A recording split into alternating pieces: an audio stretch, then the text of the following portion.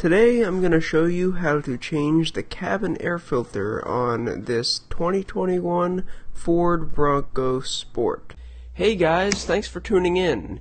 If you have not subscribed, please subscribe. We got a lot of great videos coming up ahead.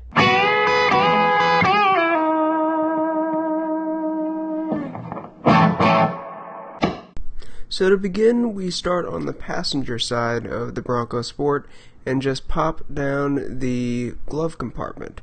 Now you see there's two tabs, there's one on this side and there's one on the opposite side. And basically what you'll do is just press those in and the whole glove compartment will drop. Now we have access to two tabs inside the compartment and once those are two tabs are popped out you could pop off this cover and have access to the cabin air filter. Now it's easy enough you could just pull it out just like this and you'll see it is very clean since it's a brand new filter.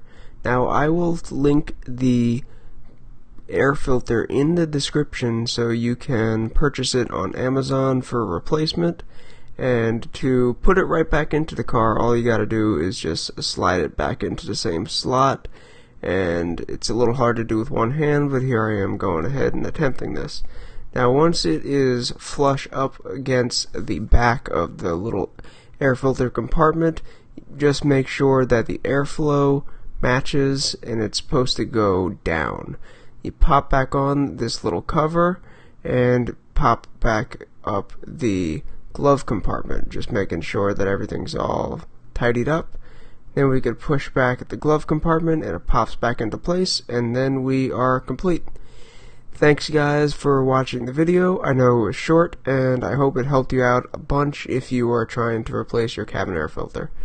Please give this video a thumbs up and please subscribe and leave a comment below. Thank you.